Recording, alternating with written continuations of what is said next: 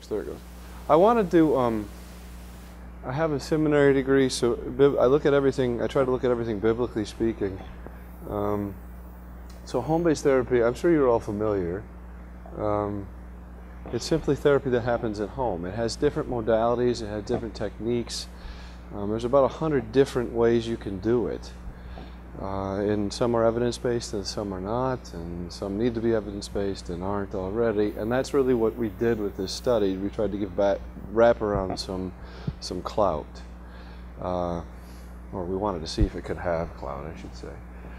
Uh, let's, let's, but I want to look at the Christian responsibility in working with home-based uh, clients or the highest at risk or the most vulnerable um, which is interesting given our culture climate and everybody throwing stones right now, um, how this looks. So I'm going to step back here and read it, and then I want to break it down, and then we'll get into the actual study.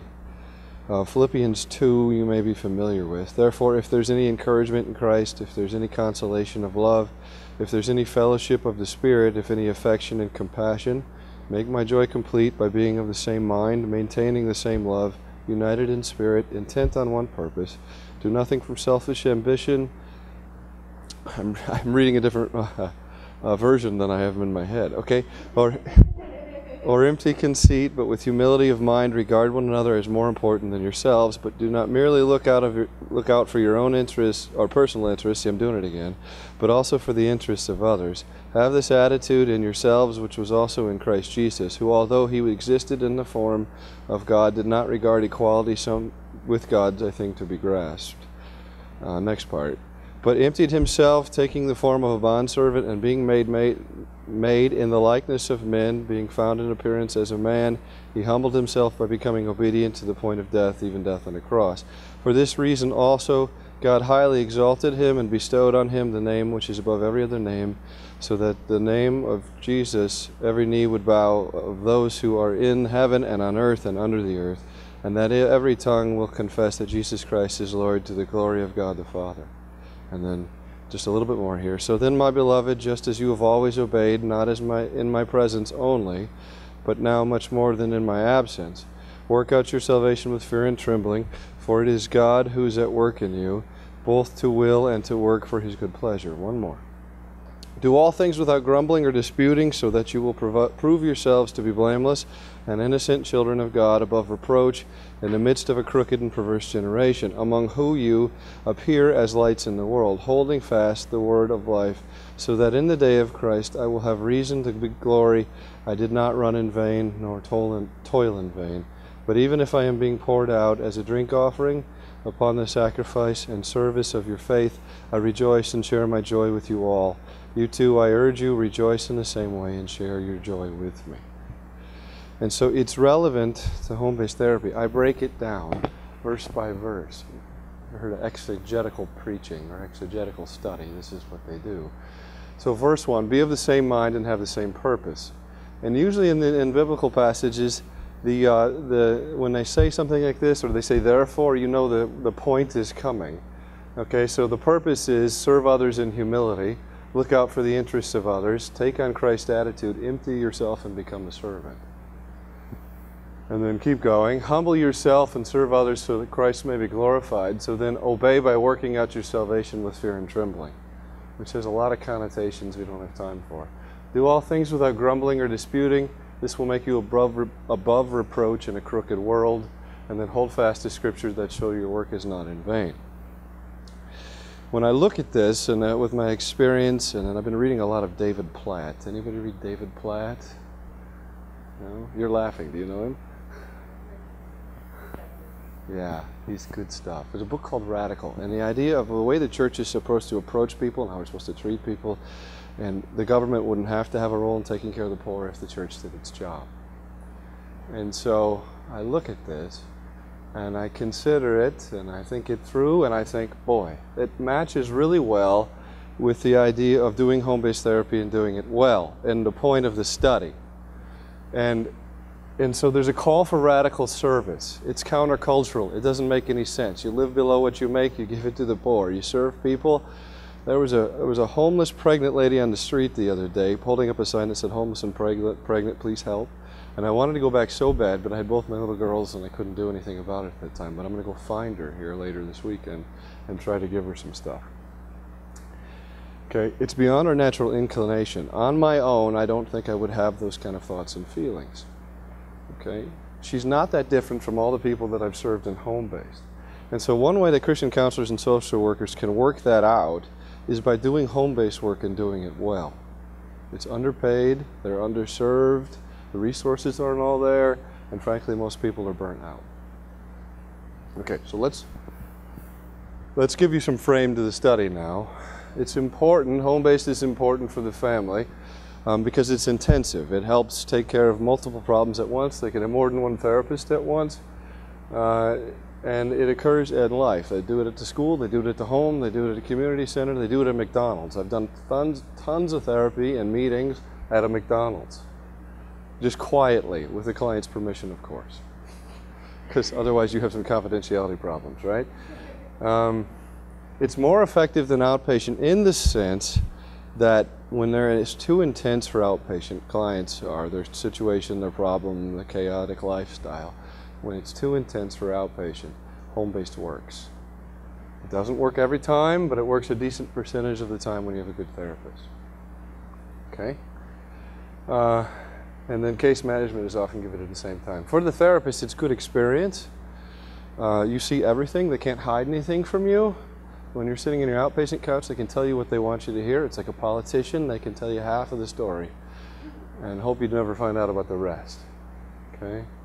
The experience is broad. You meet everybody in every situation. I've had uh, feces on the wall, cockroaches uh, crawling across my shoes, really dirty, gross couches. The smell of bacon grease and cigarette smoke is ingrained in my mind as the smell of poverty. Okay? So here, uh, within our study, here's how the referral process went. So people went, what, what we did was we looked at wraparound multisystemic therapy, and I'll define those here in just a minute, and the general home-based therapy, which can be all the therapy you do in outpatient when you do it at home. Okay? And so people would come into the referral process like this, and this is how they got into the study. Uh, the, the, these are the services and how they get referred one to the next. So um, the family process there, we tried to take care of it on our own. The school tries to intervene. They possibly refer them to outpatient therapy. Uh, and if outpatient therapy isn't intensive enough, they get home-based therapy. And then if home-based therapy can't hold it, they get put in a residential treatment facility, which doesn't happen as much as it used to, thank the Lord. Okay, so here's the study. Let's break down the study. Uh, what we knew is that wraparound seemed pretty effective, especially when the uh, um, therapist was motivated. In Calhoun County, where this happened, you have to have a master's degree, you have to have a license. In some counties, you don't have to. Okay? Uh, but we knew that little research compared wraparound with other services. matter of fact, little research tested wraparound on its own in comparison with a model. You know how you test according to its model. MST, multisystemic therapy, has a model. Um, PMTO, Parent Management, Parent Management Training Oregon model has a model, uh, and they all try to see how close you adhere to it. So uh, wraparound has some of that as well. And then uh, we figured and we found in the literature, everybody said that wraparound had more steps they had to go before they could be considered evidence-based, which means they have years of research and enough research that it shows it to be effective consistently. Okay? And so we wanted to add to that research base. All right. So here are the definitions for wraparound multisystemic therapy and general home-based. Wraparound, like I said, it's a community-based treatment. It's a little less treatment as far as therapy treatment as it is you, are the social worker or you're the case manager and the therapist at the same time. Okay, and oftentimes there's another therapist as well. All right. Then multisystemic therapy is an intensive home-based, but it's run through the court system typically. You have to have a legal record or be close to having a legal record or be on probation or be under warning of probation to even be entered into multisystemic therapy. It's specific for offenders. Okay? So they have it across the state. I know they have it some across the country. It's based out of South Carolina. It's got about 30 years of extensive research behind it. It's really effective with that particular population. General home-based therapy is just counseling in the home. It is, you can do Adlerian, you can do CBT, you can do DBT, and oftentimes they do all three. Uh, you can do many of them, and it can last for several years. It can last for two months. It just depends. So here was our purpose specifically to compare wraparound's effectiveness with two other home-based services so as to so as to add to its research base. Okay, and then there were calls in the literature, there Burns and others in 2000.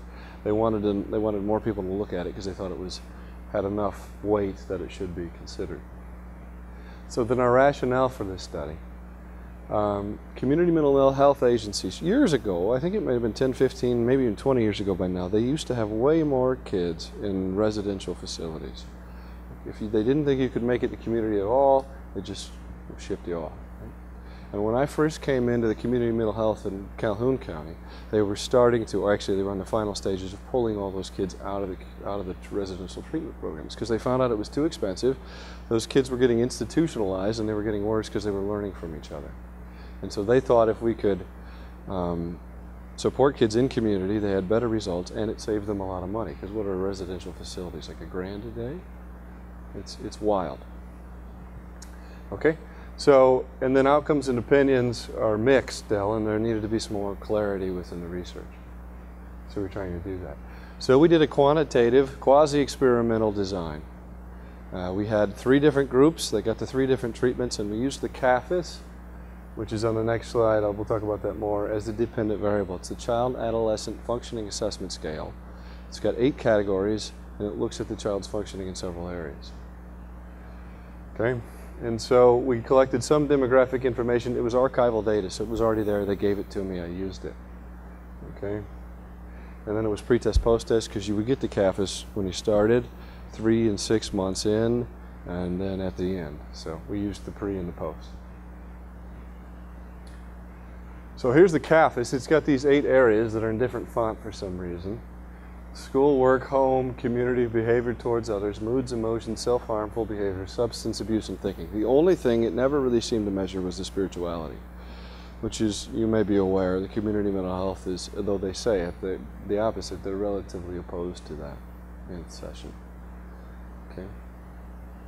Demographic questionnaire uh, was administered by the wraparound program at the beginning. So we used those. We couldn't get everything because some of it wasn't entered correctly, but uh, by the people who collected it in the first place. But uh, we got some stuff. So we had 291 participants. We started with 370, but had to throw some of them out. They were all between the ages of 5 and 17, collected between 2007 and 2012. Those were the years I was there. Uh, they had the demographic questionnaires, like I said, and the CAFAS. So those, those were our data points. And then here's what we found.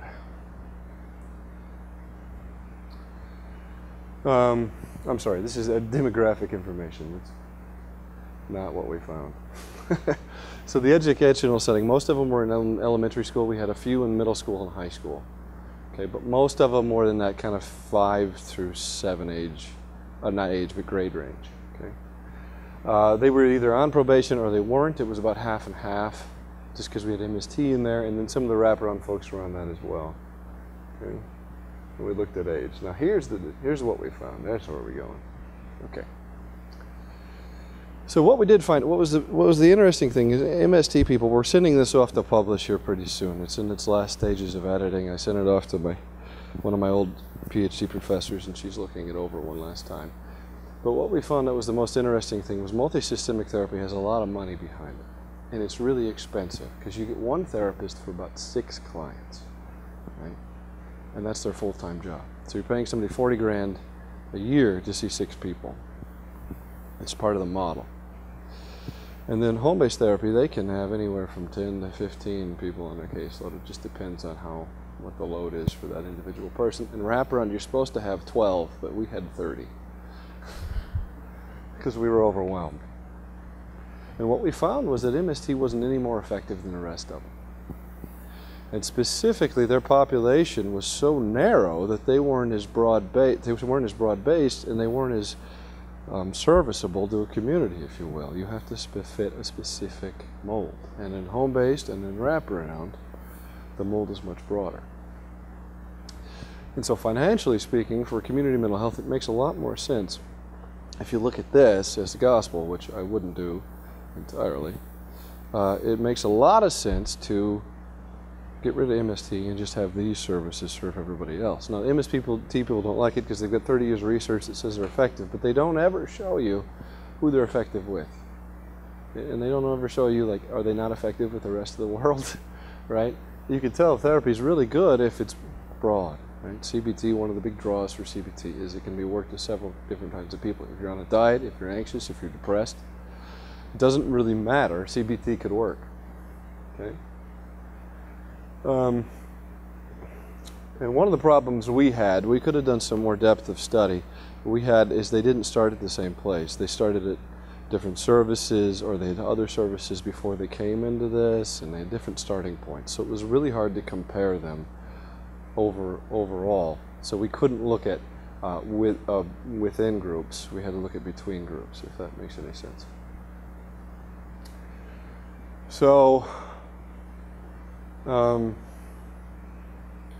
I talked about this. So th here's a point. That's that third one down. Uh, MST and wraparound, when they were combined and their severity level of client was the same, they had equal effectiveness. Matter of fact, wraparound I think was more effective if I remember correctly. But if you look at it as um, they were, if you had different levels of intensity, like if their CAFAS started higher, which the higher it is, the lower level of functioning they have if it started higher, they would uh, they would actually do better in wraparound than they would in MST. It was really interesting. Okay, so so the, the, the, the moral of the story is what I'm trying to get at is basically they're all kind of the same in their effectiveness, and a lot of it has to do with the therapist as well. Okay.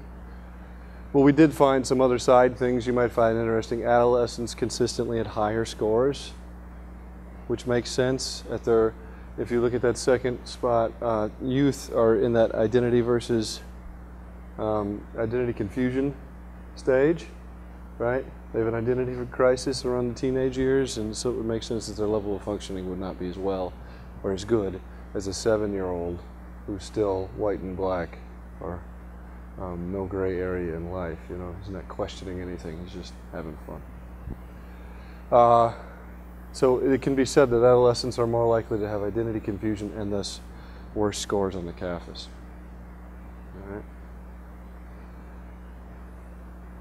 Uh, we also looked at probation status, and it just makes sense because one of the categories is legal on the CAFAS, and so they scored higher on the CAFAS when they had a probation status on their record, or they were on probation, I should say, or they had been on probation recently, and so that made it higher.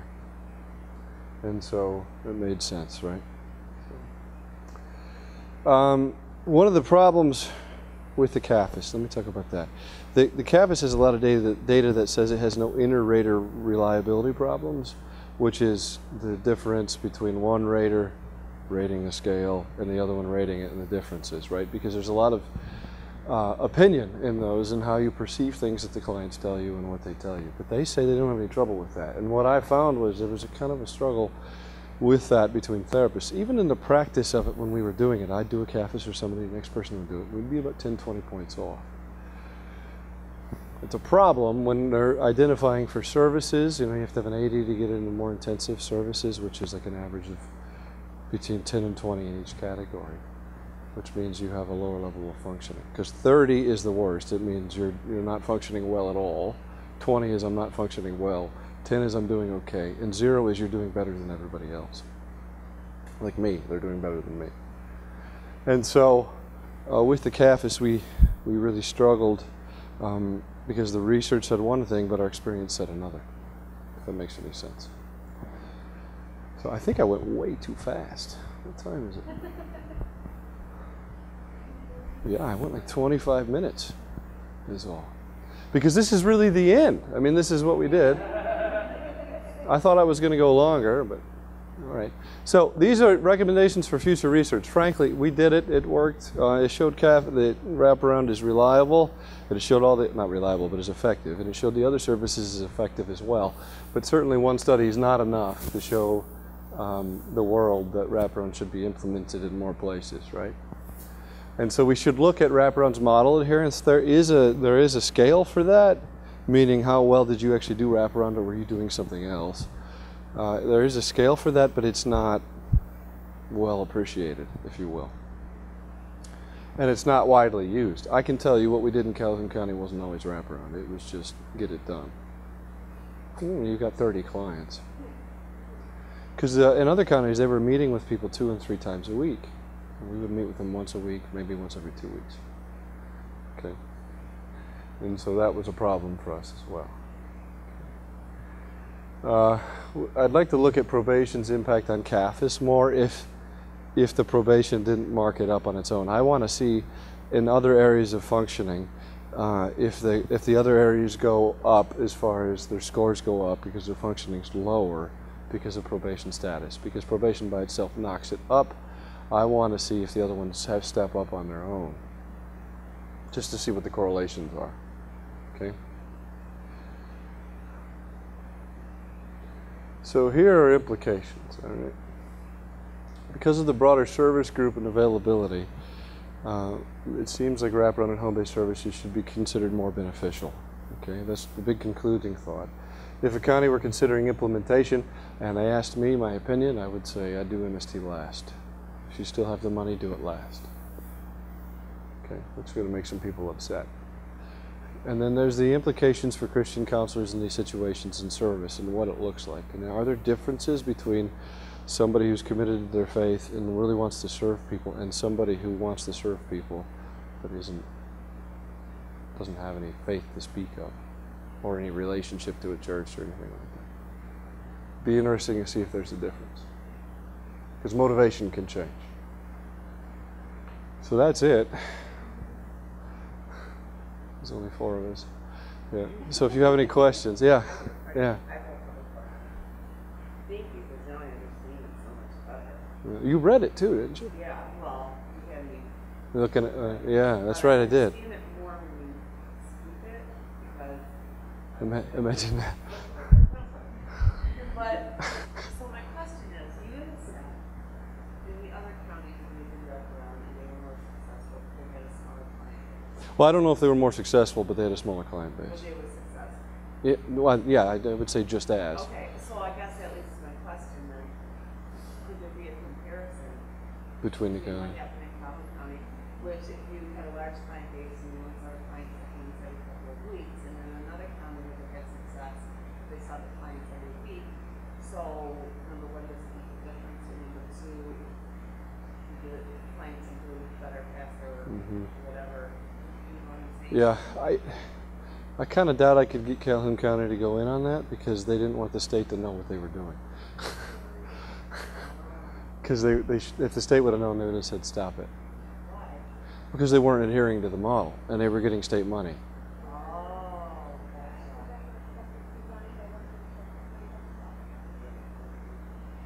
hmm I don't know if they do that anymore. The person who was doing that uh, is no longer there. So then, could, because you said, obviously, there's no faith involved in it, Right. because it was from the same age. So, I mean, it, no, but could you have private faith-based organizations do wraparound? Yeah. I don't know why. I mean, the funding source might have to be different, but I don't see why they couldn't. Right. Yeah.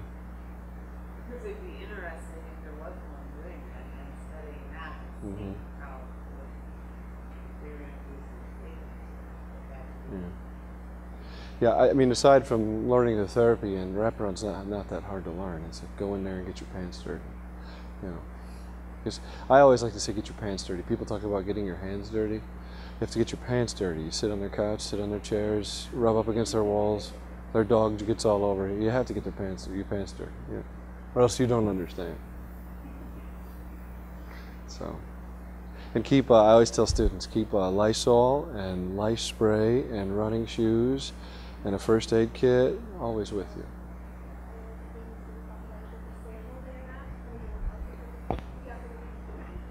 Yeah, yeah. But yeah, I've got a pair of brown shoes that are dressy and I can run in, and that's what I always wore. And that don't have like big grips because you don't want to pick up stuff. You can carry lice out of the house. Bed bugs. hmm So yeah, um, this is yeah this I I did this to finish my to finish my PhD partially because the data was there. I love I love home-based work in the in what it does. I just don't love how it is in a lot of ways. It's just it's not well done in a lot of places. And so my real research interests are more are changing. And so we're actually doing a study right now.